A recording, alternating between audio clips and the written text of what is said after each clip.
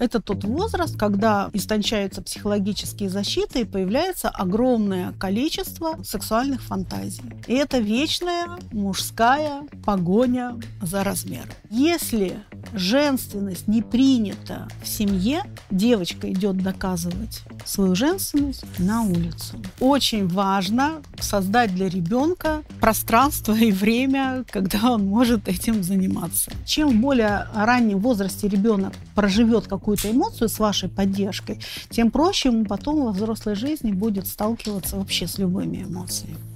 Всем привет! Это лекция «Откуда берутся взрослые», которую психоаналитик Алена Орехова выпускает вместе с Bittrex24.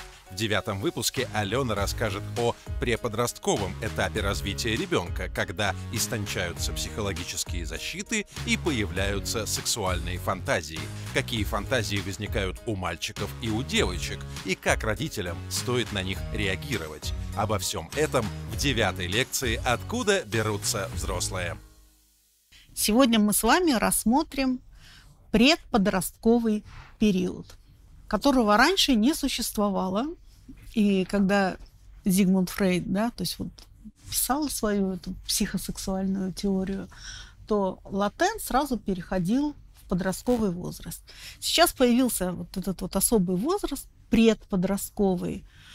И мы на прошлой лекции уже с вами обсуждали, почему он появился, потому что слишком много факторов в наше время не дают ребенку задержаться в латенте, когда да, то есть все инстинкты сексуальные, агрессивные покрыты толстым слоем психологических защит, и инстинкт не прорывается наружу. Сейчас, когда 24 часа в сутки, да, то есть из всех средств да, возможных информации ребенку все время кричат, сексуальность и агрессивность есть, и даже если э, ребенок не смотрит телевизор, даже если он не пользуется гаджетами, да, то есть все равно на рекламных счетах по всему городу он всегда все это видит. И поэтому э, психологические защиты очень сильно истончаются, и инстинкт начинает прорываться через них. Но прорывается он не напрямую, а прорывается он с помощью фантазии. И мы с вами сегодня будем говорить о том, какие сексуальные фантазии переживают мальчики и переживают девочки вот в этом предподростковом периоде. Да? Предподростковый период длится где-то с 10 до 13 лет. То есть если раньше латент был до 14 лет, и в 14 лет ребенок входил в подростковый возраст, то сейчас уже защиты не справляются, и в 10 лет дети ну, просто очень стремительно влетают во всю эту сексуальную и агрессивную историю. Как мы можем увидеть, а, что ребенок вышел из латента и находится в предподростковом периоде? Видно это по резкому всплеску моторной активности. Потому что когда из меня начинают, да, то есть вылазить эти инстинкты, а ребенку дико страшно с ними столкнуться, но он пока еще не знает вообще, что с этим всем делать. Тогда он начинает сбрасывать это моторной активностью. И если вы заходите в школу, и мимо вас проносится табун, да, то есть, ну, это понятно, что там четвертый или пятый класс вышел на перемену, да, то есть сидеть в этом состоянии невозможно вообще. Дети предподросткового возраста сидеть неподвижно на уроке не могут. И очень важно, чтобы учителя знали об этой особенности предподросткового возраста и позволяли детям двигаться. Очень э, во многих школах на Западе уроки с детьми этого возраста проходят в свободной форме когда учитель сидит на столе, да, то есть дети гуляют по классу, только тогда, когда они двигаются, появляется возможность воспринимать информацию. Как только ребенка посадить и заставить его сидеть неподвижно, тревога такая дикая поднимается, что воспринимать никакую интеллектуальную информацию ребенок в этом состоянии не может. Ему надо делать хоть что-то. Он будет просто стучать ногой по полу, если ему не разрешают встать. Он будет, да, то есть там стучать ручкой э, по столу. Он будет делать, ну, все что угодно, только чтобы сбросить эту непереносимую для него тревогу. Поэтому не заставляйте детей, когда они делают уроки, сидеть неподвижно, да, то есть пусть они в это время одной рукой бьют мяч, да, то есть волейбольный. Ну, пусть они делают все, что угодно, только в таком состоянии они способны учиться. И когда я еще работала с детьми, э, и ко мне на прием приводили э, детей такого возраста, да, то есть они в кабинете вытворяли все, что угодно. И только когда вот они могли делать все, что угодно, то есть даже если он сидит, то ему надо было скручивать из бумаги э, эти шарики, да, то есть слюнявля их, да, разбирать ручку, засовывать, значит, эти шарики в эту ручку и куда-нибудь плевать, да, то есть и, ну, и, и важно было к этому относиться спокойно, потому что я понимала, что тогда ребенок меня слышит, и то, о чем мы разговариваем, у него где-то откладывается. То есть, пожалуйста, не пугайтесь, да, и понимаете, в чем особенность ребенка этого возраста, и позволяйте это делать. И, конечно же, ну, к огромному сожалению, наша школа, не знаю, как э, сейчас, но раньше она ну, не давала возможность детям этого возраста вот сбрасывать все время эту тревогу, потому что, ну, физкультура два раза в неделю, она не сбрасывает, да, то есть по 45 минут она не сбрасывает это напряжение, то есть 3-4 часа активности физической должно быть у ребенка в этом возрасте, да, то есть тогда это будет для него нормально. И следующий момент, э, по которому можно понять, что ребенок вышел в э, предподростковый возраст, это что появляется такая эмоция, как смущение. В организме ребенка происходят какие-то странные процессы. Они его пугают, он не понимает вообще, что происходит, да, ну то есть появляются вторичные половые признаки, да, то есть все что-то растет, раздувается, вообще это все страшно, и дети все это, да, то есть списывают вот на свои сексуальные фантазии, а так как они до сих пор еще считают родителей всемогущими, они думают, что родители точно догадываются о том, что у меня в голове, о чем я фантазирую, и поэтому они начинают очень смущаться и начинают прятаться от родителей. Вот это тот возраст, с которого дети закрываются в своих комнатах и говорят, мама, не заходи. И это нормально, и уважайте, пожалуйста, взросление своего ребенка, да, потому что ему в своем пространстве спокойно, потому что он может там расслабиться, понимая, что ни, никто не отслеживает вот эти вот его всевозможные пугающие его самого мысли и ощущения, которые появляются в теле. Мы говорили о том, что в эдипальной стадии, да, то есть, ну, прекращается там сон в одной комнате, да, то есть, и важно, а, чтобы там с трех лет уже там папа в семейных трусах перед девочкой не ходил, мама в откровенном белье а, перед мальчиком не ходила. То есть в этом возрасте это уже, ну, вот категорически запрещено то есть смущение, да, то есть ребенок все время думает, что родитель видит там, чем он занимается, какие последствия этих занятий, да, то есть какие чувства ребенок испытывает. Поэтому здесь вы с большим уважением относитесь к телу ребенка, к его личному пространству, ну, спрашиваете его, что можно, а что нельзя. И э, это тот возраст, когда истончаются психологические защиты и появляется огромное количество э, сексуальных фантазий. То есть все вот эти вот фантазии, ну, инстинкты, да, то есть которые прорываются, ребенок проживает через фантазии.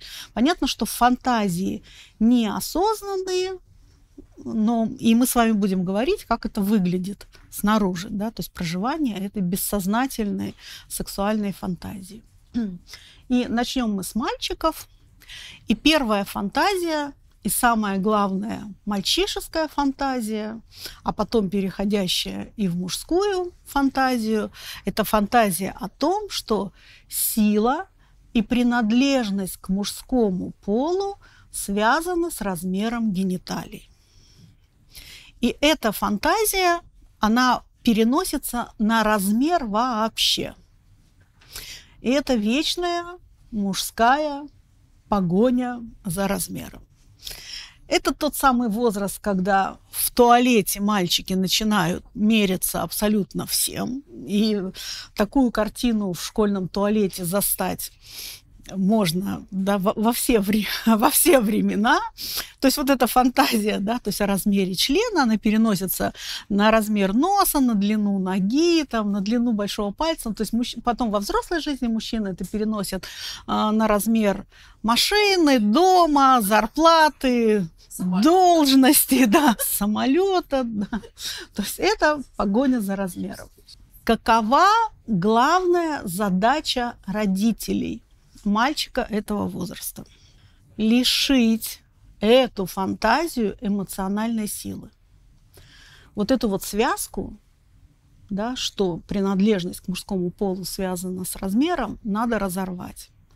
И родители своим поведением, своим отношением к ребенку показывают ему, ты маленький, ну, а на самом деле член у тебя маленький, как да, то есть воспринимает ребенок, но мы видим в тебе мужчину.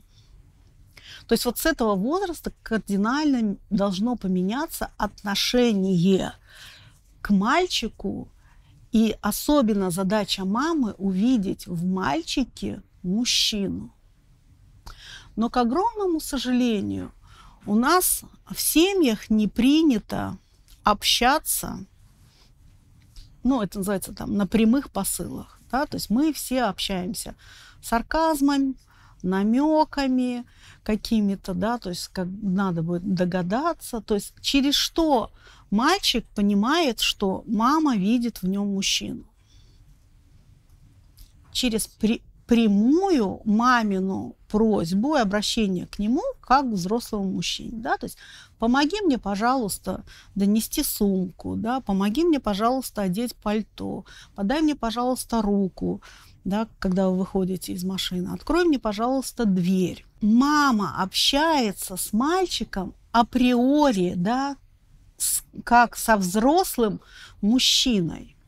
Но, к огромному сожалению, да, у нас женщины, и, ну, и с мужьями точно так же общаются, да, то есть вот с какой-то издевкой.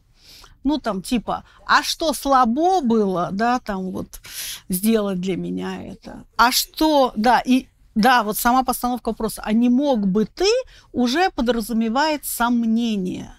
То есть сомнение всегда зарождает во мне неверие. А этот возраст, если мы говорили, что да, то есть в адипальном периоде с 3 до 6 лет происходит полуролевая идентичность, когда мальчик и девочка должны уже определиться точно со своей да, психологической ролью половой, то в этом возрасте, когда после латента, да, когда все закрыто слоем психологических защит, защиты начинают прорываться. Для ребенка это очень тревожно. И э, во время тревоги психика всегда регрессирует на более ранние стадии развития. И регрессирует она в этот раз на, ну, на самую ближайшую. А так как латент не является вообще стадией развития психики, да, мы говорили о том, что психика не развивается в латенте, она прошла все стадии развития, то регресс происходит именно на эдипальную стадию развития, где и происходят процессы полуролевой идентификации. И тогда получается, что предподростковый возраст – это возраст, когда все то, что было недопройдено в эдипальной стадии, где что-то было не решено, недопринято, вот в этом вот предподростковом возрасте можно допрожить и допринять. Опять-таки через отношения с родителями. Да. И вот здесь вот очень важно, как мама видит в мальчике мужчину и уважает в нем мужчину. Ну, и, соответственно, как она видит своего партнера, мужчину, и насколько она уважает, чтобы у мальчика был повод идентифицироваться с мужской ролью. И поэтому прямое, уважительное обращение с просьбами открытыми мальчику этого возраста. И здесь очень важно помнить, да, то есть, ну вот что такое открытое общение. Это общение, когда человек напрямую говорит о своих чувствах и напрямую способен обращаться с конкретной просьбой. Все остальное является выражением скрытой агрессии. То есть все диалоги с риторическими вопросами, ну, по типу, да, то есть пришла с работы, просила утром вынести ведро мусорное, да, то есть ведро стоит полное. Вопрос там, что это? Ну, вопрос не, не требующий, да, ответа. Это скрытая агрессия, да, то есть можно же сказать, да, то есть, ну, слушай, я злюсь, что мусор не вынесен. Открыто, да. Можно выразить открытую просьбу. Слушай, я тебя очень прошу, вынеси, пожалуйста, мусор. На открытую просьбу очень трудно получить отказ. Когда просьба выражается вот в такой вот форме скрытой агрессии, на скрытую агрессию что мы получаем? Ответ, ответную агрессию. И очень трудно ожидать исполнения твоей просьбы. Или вопросы типа, да, то есть, ну, которые подвергают сомнению, да. Ну и что, нельзя было вынести мусор? Поэтому очень важно. Ну, это не только в этом возрасте. По большому счету, это вообще самый главный принцип общения. Да? Открытого. Открыто говорить о своих чувствах и выражать открытые просьбы. Но нам всем так трудно выражать открытые просьбы. Почему? Потому что очень страшно получить отказ да, когда я общаюсь вот таким образом, да, через такие вопросы, вот с этой вот, да, то есть пассивной агрессией, ну, я уже показала свою позицию, ну, мне тогда не страшно. Ну, я как бы сильнее, да, я, я нападаю в этот момент. А обратиться с открытой просьбой – это показать свою уязвимость, да, то есть это где-то показать свою беспомощность, где-то показать свою беззащитность. И тогда очень страшно. Лучше я буду нападать. Поэтому ну, задача всех членов семьи учиться общаться открыто. А начинает всегда тот, кто ну, больше знает. Да? То есть вот вы уже получили эти знания. Ну, значит, вам и начинать в семье это делать. Ну, понимая, что да, могут э, отказать. Но когда э, я обращаюсь к человеку с открытой просьбой. Даже если человек отказывает, он в такой ситуации всегда объяснит, почему он отказывает. Когда у него нет ощущения, что на него нападают и его обвиняют – тогда ему нечего защищать. И он тогда спокойно объяснит, там, слушай, ну это не из-за тебя, не потому что там я тебя не люблю, не потому что я хочу сделать тебе что-то на зло, там, ну, а потому что, знаешь, да я сам терпеть не могу выносить этот мусор, да, и вообще, давай мы что-нибудь придумаем, как нам решать вообще эту проблему, да, то есть кто это будет делать. А там дальше вы уже, когда люди открыто разговаривают, они имеют возможность договариваться да, то есть, ну, очередность там создавать, ну, все что угодно, или там а, просить компенсацию, да, слушай, вот я это вообще просто ненавижу делать, но я знаю, что для тебя это важно, я это сделаю, да, вот, а ты, пожалуйста, вот, вот сделай для меня вот это, вот это, вот это, да, то есть, ну, и это совершенно нормально, и люди остаются в нормальных открытых отношениях с проявлением любви к друг другу. То есть а, родители показывают ребенку, что они видят в нем мужчину. Потому что если мальчику не показать, что мы видим в тебе взрослого мужчину, а ну, это и папы касается, папа тоже проявляет уважительное отношение к мальчику. Но проблема-то у нас вся в том, что огромное количество мужчин не завершили прохождение своей депальной ситуации в своем детстве, и тогда они начинают воспринимать мальчика как конкурента, который выходит в предподростковый возраст и начинает демонстрировать свою мужественность, и папа начинает его давить и не выбраться из этой ситуации. И чем больше э, меня давят и не принимают мою мужественность во мне, тем больше я буду доказывать, ну, что я уже мужчина. Инструментов очень мало у ребенка. Через что тогда, если его не уважают и не видят в нем мужчины, он начинает доказывать, что он взрослый и что он мужчина. Ругаться матом, да, курить, смотрите, я взрослый, алкоголь пробовать, да, то есть драться, вступать в какие-то, да, то есть, ну, вот комп- компании, то есть всеми силами, а, вы во мне не видите, я вам сейчас покажу. И поэтому очень важно, чтобы вот эта вот мужественность была принята в семье обоими родителями. Но при этом мы еще и помним, да, что как важно показывать приоритет супружеских отношений.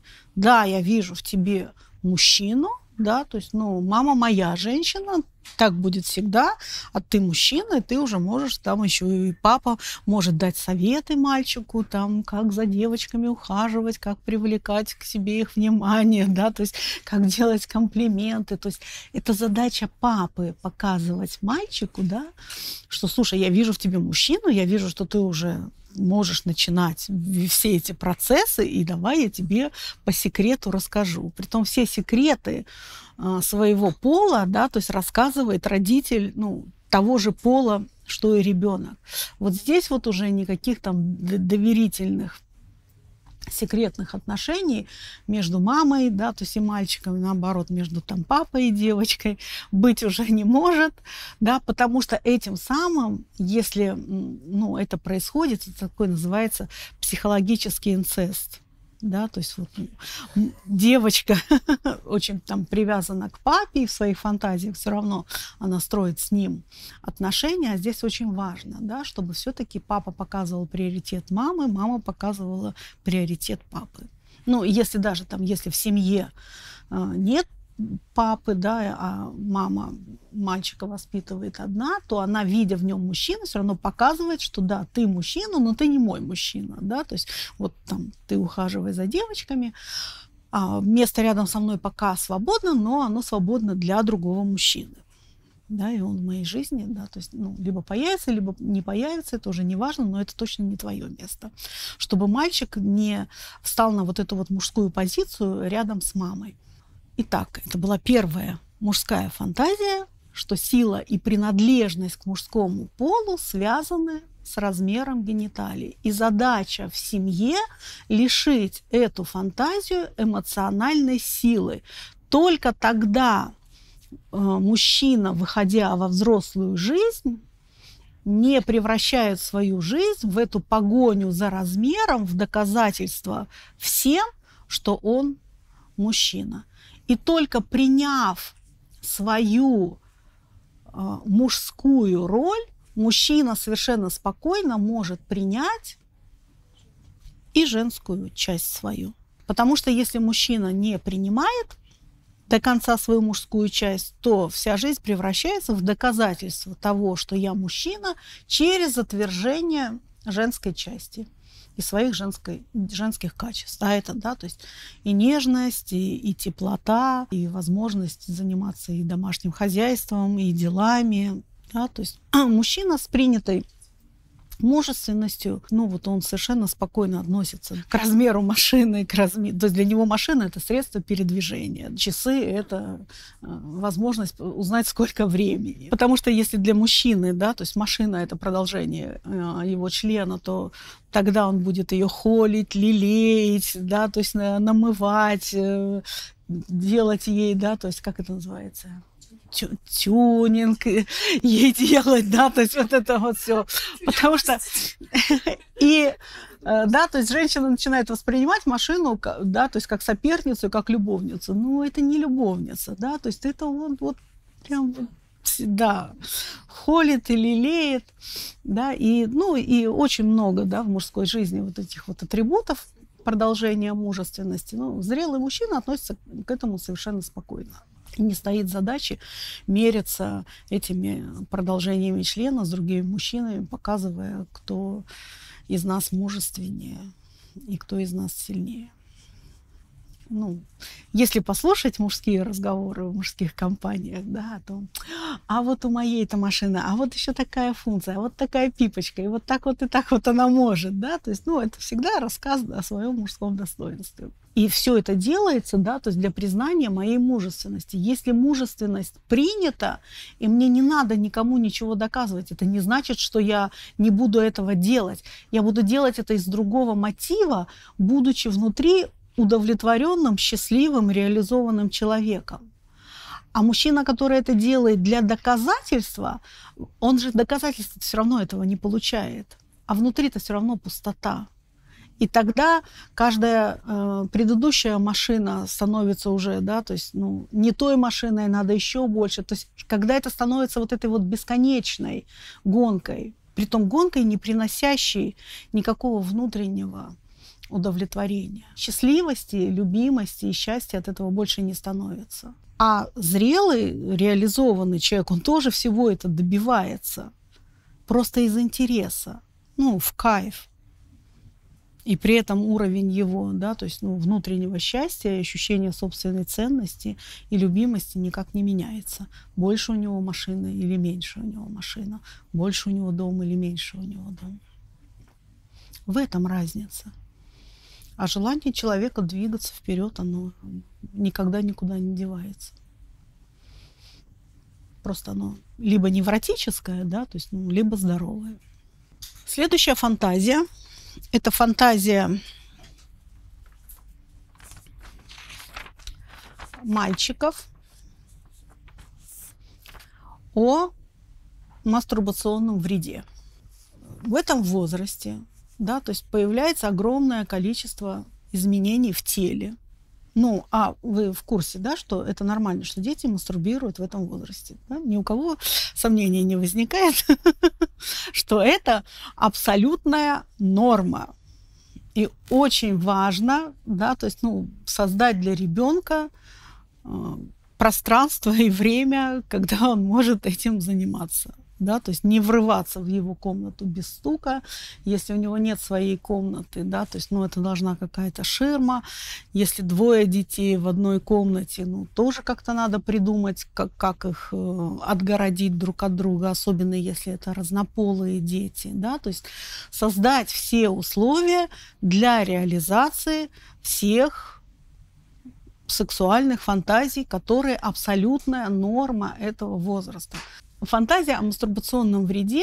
В теле происходит очень много изменений, и ребенок все, что с ним происходит, приписывает тому, что, ну вот, да, игрался. А так как в этом возрасте еще у мальчиков начинаются полюции, и если, да, с мальчиком никто об этом не разговаривал, а откуда тогда, если с мальчиком не разговаривают, ну, детям вообще брать информацию вообще о теле, о сексуальности, о том, что происходит? Ну, сейчас интернета, раньше книжки были, да, то есть, ну, от друзей таких же, которые ничего не понимают, да, ну и что там в интернете написано, что если члена капает, значит, все, трандец. Представляете? Нет, вот вам смешно, да? А вы представьте, какой дикий страх я, значит, мастурбирую, да, то есть, ну, отовсюду слышу, что там э, это плохо. Ну, нас же любят еще родители попугать, да, то есть отвалится все, там, э, пальцы отсохнут, ну, что, ну, все что угодно, да. Вот. вот на этих лекциях всегда очень много воспоминаний о своем детстве, кого чем пугали в этом возрасте, да, что происходит, когда ты этим занимаешься. И тут еще ночью вообще весь мокрый. Представьте, я в интернете почитал, да, то есть когда мокрый ночью, вот все, еще и, и заболел. И все. Вы представляете, а вы хотите, чтобы он учился хорошо, на секции какие-то ходил, да? Он умирать уже собрался, все, он неизлечимо болен, страшной смертельной болезнью, а вы ему про какую-то учебу, про какое-то ЕГЭ. Да вообще он не доживет до этого ЕГЭ. Вообще, о чем вы говорите, о чем вы к ребенку привязались вообще? Поэтому дети считают, что все, что с ними происходит, а в этом возрасте что происходит – прыщи, прыщи, волосы отовсюду лезут вообще, да, то есть вот, а еще и пугали, что именно от этого они лезут, эти волосы, да, ну вот и все. Очень весело. Мы думаем, что вот они и живется им беззаботно, вот ни о чем не думает, да, вот у него одни развлечения, а у него трагедия жизненная. И все это происходит от того, что, конечно же, нет у нас в культуре разговаривать с детьми о сексе и о сексуальной жизни, и о сексуальных фантазиях. И все думают, что ну вот 18 лет ему будет, ну тогда, может быть, наберусь смелости, да, и поговорю. А потом у всех отмазка. Да, он уже и так все сам знает, да. Но что он знает? Он знает чисто технические вещи, да, которые можно прочитать в интернете, да, то есть ну, о которых можно там сексуальную энциклопедию почитать. Но вся эта проблема в том, что воспринимается информация только эмоциональная. Да? Потому что у нас у всех есть два вида ума. Интеллектуальный и эмоциональный. И интеллектуальным умом мы все очень умные, да, то есть, но двигателем нашего поведения и нашего поступка являются только эмоции. И здесь очень важно, какая эмоция сформируется у ребенка по поводу сексуальных отношений и всевозможных, да, то есть, ну, проблем и сложностей, с которыми можно столкнуться в этой сфере отношений.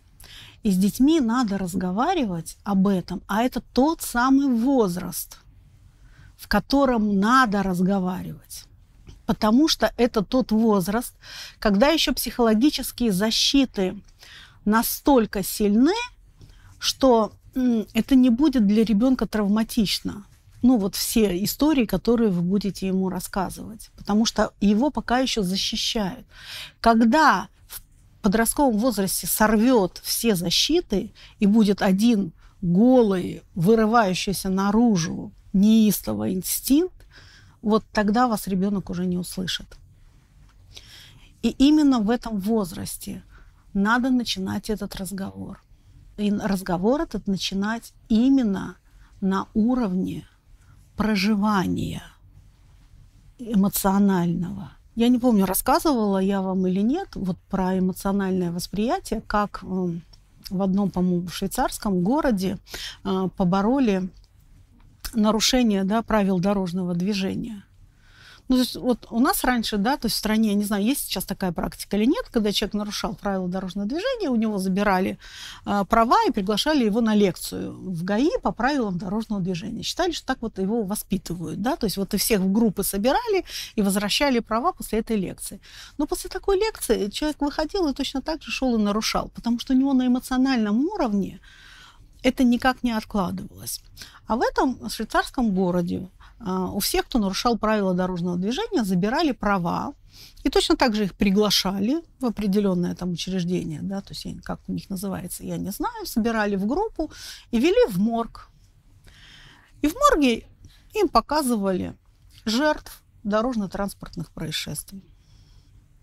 То есть им показывали последствия. Ну, им показывали реальные последствия, невозможные, а реальные последствия – и все. То есть что делали? Включали эмоцию. Да, то есть вот показывали, что, ну вот, да, то есть было нарушение правила дорожного движения, да, получился вот такой результат. И люди проживали эту эмоцию. И в этом городе не стало нарушений правил дорожного движения. Потому что когда что-то пройдено на эмоциональном уровне, это в моменте остановит. Вот когда ребенок, э, когда родители не могут разговаривать с ними, с ним о сексе и дали ему прочитать э, сексуальную энциклопедию, он ее прочитает. На уровне интеллекта это останется. Но в, подростковом возрасте, когда прорвется инстинкт, он затмит все эти интеллектуальные знания.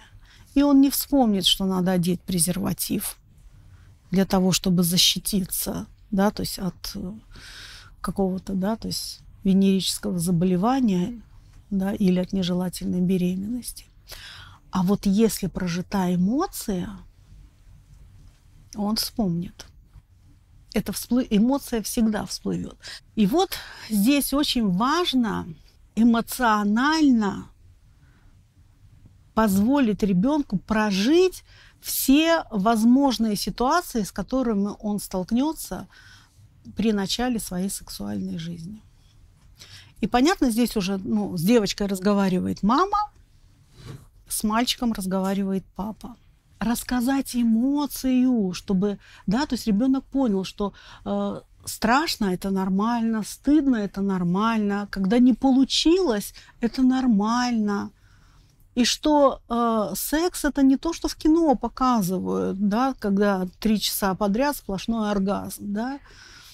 Нет, это может не получиться, и когда не получилось, это ничего страшного, потому что можно попробовать еще раз, потому что секс это, это процесс. Это процесс, это построение отношений, это изучение тела друг друга, э, что кому нравится, что кому не нравится. Это разговор. И можно отдохнуть, попробовать еще раз, даже да, если первый раз не получилось. А когда нет этого разговора, и я с этим столкнулся, и у меня не получилось, бегом одеть штаны и убежать, горя от стыда, и больше никогда к этой девочке не подойти.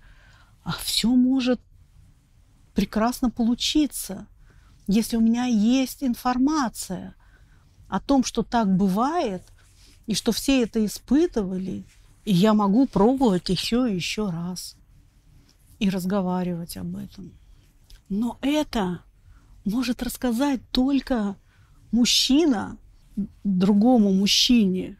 Ну, потому что женщина не знает, как, как это там все происходит, да, то есть и, и что там, кто испытывает в этот момент. Ну, просто не знает, потому что, да, у нее нету этих органов, и она не знает, как это все функционирует. А вот взрослый мужчина, который столкнулся с разным опытом, и, да, то есть удачи, неудач, он может об этом рассказать. И вот о чем важно говорить и о всех последствиях, которые могут быть, потому что у нас же тоже, да, то есть, ну, э, любая реклама, она показывает, что, на чем работает реклама. Когда мне показывают, что было, вот чем-то попользовался и получил вот это.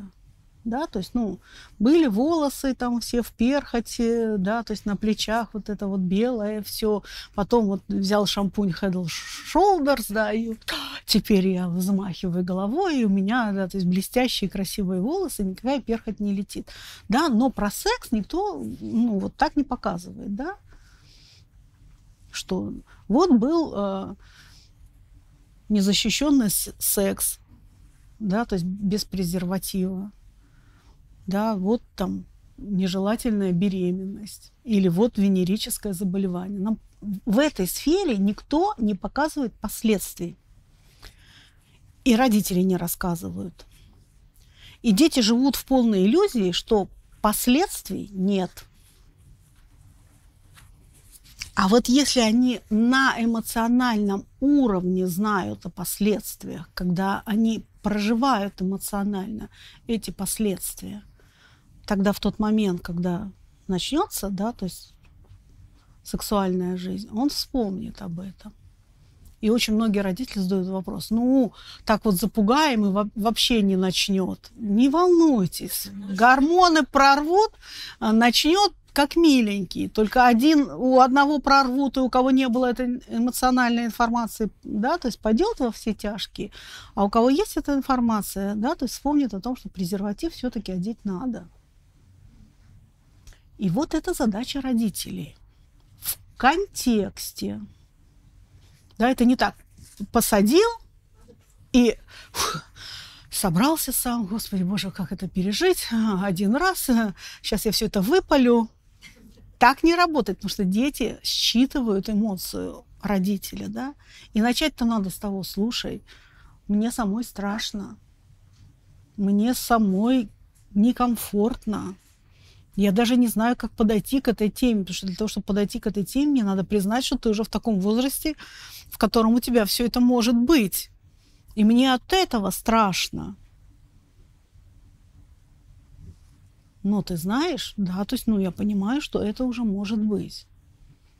И вот такая вот, представляешь, история, что там у нас на работе, у тети Маши, да, то есть вот девочке в 14 лет случилась беременность, да, то есть ей пришлось сделать аборт. А сейчас этой девочке там 35, и она до сих пор не может иметь детей. И какое горе, да, то есть у нее и ее мама, которая так хочет стать бабушкой, а детей нет да, потому что там первый аборт, он очень опасен, потому что после этого может не быть ребенка, да, там, а там еще у нас на работе, да, то есть у одной женщины. То есть вот вы можете эти истории, понимаете, сочинять бесконечно. Потому что, я еще раз говорю, психологические защиты у ребенка настолько сильны, что он сам весь сжимается, когда вы начинаете об этом говорить, и психологические защиты не позволяют этой информации проходить. Поэтому вы можете сто раз рассказывать, да, то есть разные истории, и когда-то, ну, это отложится. Но это должно быть, ну, бесконечно. И вот так вы рассказываете про наркотики, да, то есть про алкоголь. Вы не говорите, курить вредно. Это вот, ну, ровным счетом ни о чем информация. Вы не говорите там пить вредно, вы не говорите наркотики это вредно. Надо показать последствия. Надо показать то, что в наше время огромное количество заболеваний что сейчас уже венерические заболевания считаются ну просто насморком. Просто насморком. Потому что, ну, они не несут тех да, катастрофических и трагических последствий, да, то есть как, как несет ВИЧ, да, и еще куча всевозможных, да, то есть э, там гепатитов, да, разных видов, ну, которые действительно ну, смертельно опасны. Да, конечно, медицина движется сейчас вперед и создается масса препаратов, но ребенку важно показать, какую беспомощность, да, то есть, ну, испытывает мать, допустим, да, то есть там сына больного, СПИДом, что она понимает, что она сделать ничего уже не может, да, и человеку остается только, ну, только ждать, выстрелит, не выстрелит, да, то есть и, и, и как это. То есть затрагивать эмоции, постоянно рассказывая вот такие вот истории. И, к сожалению, это так страшно а, самим самим родителям так страшно это признать, что проще жить в ощущении, что нет, это происходит где-то, где это все в этой Америке проклятой. У нас э, этого нет. Это все где-то и где-то с кем-то. Это все с какими-то э, плохими семьями. А в нашей семье такого быть не может. Может. Это может быть абсолютно с каждым. Но в этом надо себе признаться. А себе признаться страшно. А когда мне страшно, как я вообще могу об этом говорить с ребенком? Если говорить о девочках, то если для мальчика, да, то есть э, сила и принадлежность к мужскому полу связана с размером гениталий, то, соответственно, у девочки сила и принадлежность к женскому полу, да, то есть связана с размером груди. И, конечно же, огромное количество, да, то есть пластической хирургии, озолотилось несколько поколений пластических хирургов на этой женской фантазии, да. И здесь точно так же, да, то есть задача родителей в семье лишить эту фантазию эмоциональной силы, да, то есть родители показывают девочку, да, да, то есть ты маленькая, грудь у тебя маленькая, но мы видим в тебе женщину. И здесь папа, да, то есть показывает девочке. То есть уже теперь папа подает девочке руку-то, когда она выходит, да, то есть помогает ей одеться. Но всегда тоже помним об, об этой вот всей истории, что все это идет в приоритете мамы. Мама всегда на первом месте. И вот в чем большая катастрофа-то, что если женственность не принята в семье, девочка идет доказывать свою женственность куда? На улицу. И женственность, не принятая в семье, угрожаема по ранним сексуальным отношениям и ранней беременности. Потому что, ну, как еще я могу доказать, что, ну, я женщина, да? Тем, что на меня обращают внимание взрослые мужчины, да? И вот когда вот не происходит, да, вот это вот принятие истинной женственности. То есть, смотрите, в предподростковом возрасте мы увидим опять вот весь вот этот вот круг становления женственности. То есть, и мы увидим в предподростковом возрасте сначала фазу мужественности, и вот эти девочки, да, то есть которые со спины не видно, мальчик или девочка, которые с короткими стрижками, да, в этих широченных брюках, да, в, в грубых ботинках. Но здесь мы говорили о том, что девочка еще слышит маму, и мама говорит, она же для мамы это делает, то здесь вот весь Эдип опять вот в предподростковом возрасте будет ярким светом. И мама говорит, что мне это не нравится, и тогда я выхожу на фазу временного отказа от мужественности, да, демонстративная женственность. И вот здесь вот уже, конечно же, начинается. Да, это юбка такой длины, чтобы точно было видно, что члена там нет. Я-то сама в этом не верю, но всем мне надо это продемонстрировать. Да, это дичайший макияж, да, то есть это вот сейчас, для этого сейчас все условия есть, приклеенные ресницы, вот эти вот накладные ногти. Это я всем демонстрирую, что я девочка.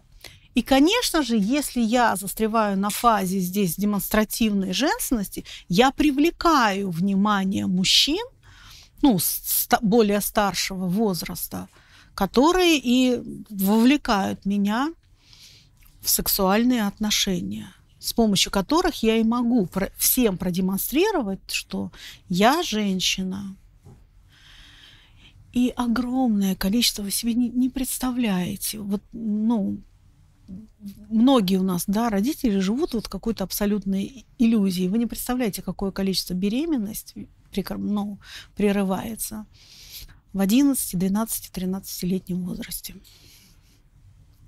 И в Санкт-Петербурге есть такой центр Ювента – а, где, слава богу, да, то есть работают психологи. Потому что если моя потребность доказать, что я женщина, и а, я вступаю в сексуальные отношения, понятно, да, то есть я не предохраняюсь, и наступает беременность, мало у кого из родителей ну, возникает идея сохранять беременность, хотя есть тоже огромное количество, да, то есть и рожающих девочек 12-13 лет, когда, ну, родители берут этого ребенка и просто как своего воспитывают, да, то есть и девочка растет со своим ребенком, там, как с братом или сестрой.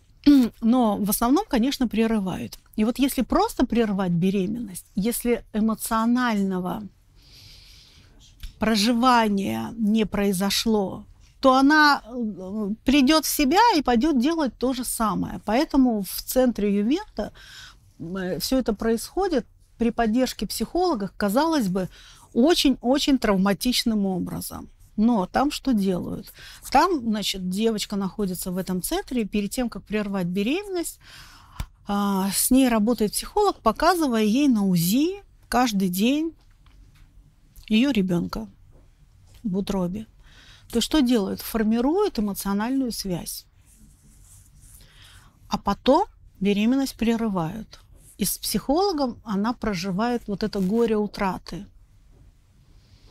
И вот когда есть уже эта эмоциональная связь, и она понимает, что происходит, то, конечно, выйдя уже оттуда, ну, уже в очень редких, очень сильно повзрослевших, да. Так вот, чтобы до этого не доводить, да, то есть создайте лучше эмоциональную вот эту вот эмоционально окрашенное отношение к этим процессам, пока этого еще не случилось. На вот ваших этих рассказах, которые вы будете бесконечно рассказывать про тетю Машу и ее дочку, про дядю Васю и сына, там, про, и про все-все-все вот истории про наркоманию, алкоголизм, да, то есть э, венерические заболевания, СПИД, да, то есть в ранней беременности. Вот это вот э, задача родителей ребенка этого возраста. Теперь дальше о фантазиях. В этом возрасте еще огромный страх, особенно у мальчиков, телесного ущерба. И мы это говорили, что это да, начинается в эдипальном возрасте. И сейчас это все продолжается, что у мальчика огромный страх кастрации от того, что папа узнает да, о моих претензиях, о том, что я претендую на маму, и все это мне чекрыжит. И поэтому это страх стричься, стричь ногти, а, мыться. И вот ребенка этого возраста заставить залезть каждый день под душ, а представьте, когда еще в этом возрасте происходят колоссальные гормональные изменения, и запах стоит совершенно невыносимый, а он еще и мыться не хочет. А, следующая фантазия мальчиков – это фантазия о возможности рожать. То есть мальчики, да, то есть смотрите, все фантазии, о которых мы говорим, они все присущи эдипальному периоду, то есть они начинаются вот с 3 до 6 лет. Просто там они могут не так ярко проходить, но с 3 до 6 лет вот эта фантазия рожать, она присутствует тоже, и сейчас с 10 до 13 лет она опять проявляется, и проявляется она в постоянном желании завести животное.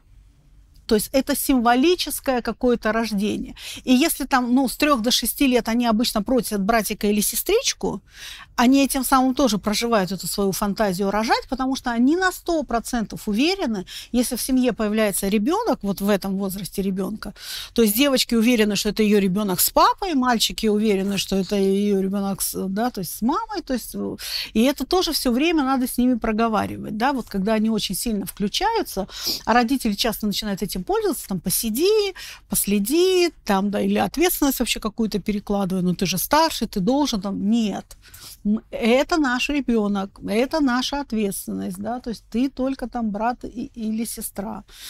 Не позволять ребенку очень сильно в это все включаться. Или, значит, вот желание завести животное. И здесь очень важно, ну, тоже с уважением отнестись к этому желанию, потому что именно через это желание и через вот возможность э, заведения животного а, ребенок в этом возрасте может проиграть вообще будущее родительство. Только вы должны показать ему вот весь этот путь, как это происходит да, то есть, ну, что сначала там, ну, зарождается идея, ну, как в норме. Понятно, что во многих семьях дети случайно получаются, да, но как, ну, нормально, когда семья принимает решение, там, время сейчас или не время, да, то есть позволяет ли там, ну, жилищные условия, да, материальные условия, состояние здоровья, да, то есть, когда это такой осознанный подход, и вы показываете ребенку осознанный подход. Ну, давай подумаем, да, то есть, ну, вот в нашей квартире, в наших условиях, какому животному будет комфортно комфортно, да, то есть, ну, какое место мы ему можем выделить, да, то есть, ну, насколько у тебя есть время там с ним гулять, да, то есть, ну, чем ты будешь его кормить, там, выбирается порода, садитесь, изучайте все об этой породе, да, то есть вот сколько ей надо гулять, сколько ей надо бегать или не бегать, да, то есть, ну, я вышла очень просто, я думала, из этого возраста, заведя морскую свинку. Мне сказали, 3-4 года живет, я думаю, как раз э, предподростковый возраст пройдет, и все будет прекрасно. А, прожила 9 лет. Ну и чтобы вы понимали, да, что э, вот это вот все, на все это соглашаясь, да, то есть, ну, потом гулять с собачкой будете вы, за, за кошечкой выбирать туалет будете вы, да, потому что э, фантазия отработана, да, то есть и больше ребенка это не интересует. Но вы можете дать прожить вот этот вот опыт, опыт вот этой вот ответственности, да, через вот этот вот выбор, да, то есть взятие ответственности, изучение материала, И через этот процесс добираются качества другого пола. Ну, какое классическое мужское качество? Зачинать. Да? Мужчина зачинает. А женщина вынашивает, рожает, вскармливает и выращивает. Да?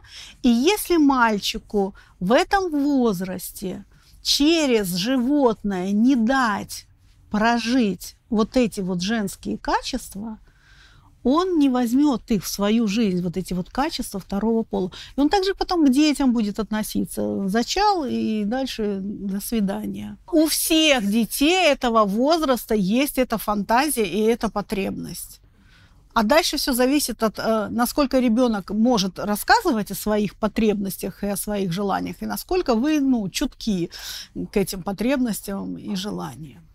То есть, а то, что в этом возрасте у всех однозначно есть эта фантазия, да, то есть, ну, исключений не бывает. Она есть всегда. Поэтому выбирайте хомячка. Я вот прокололась с, с морской свинкой.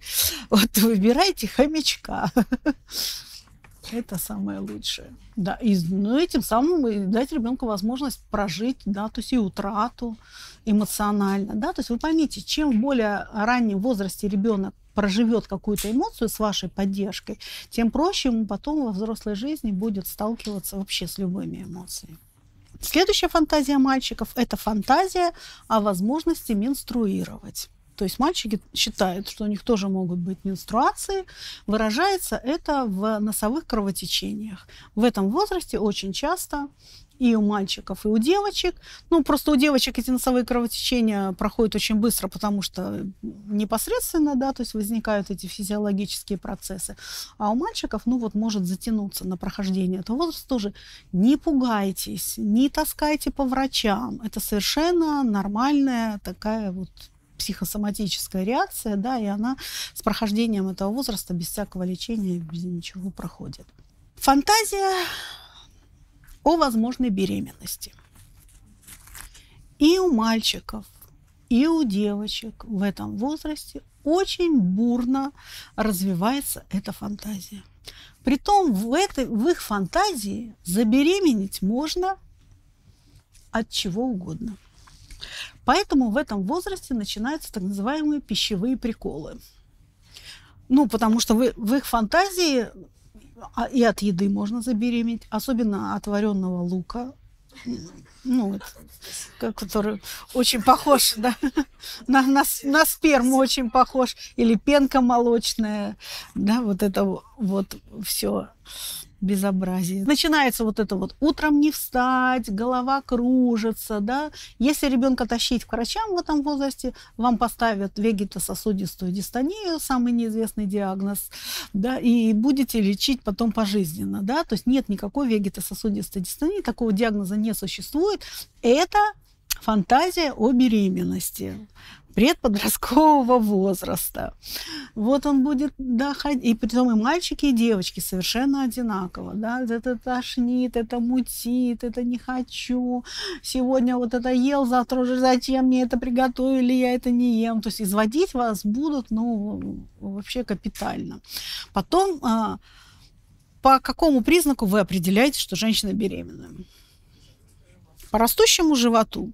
Поэтому задача всех предподростков скрыть растущий живот. То есть они все уверены, что они уже беременны.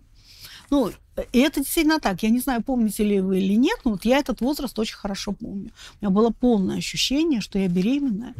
И я не знала вообще, как это скрыть. Притом беременная я была от того, что я посидела на унитазе, на котором до этого папа сидел.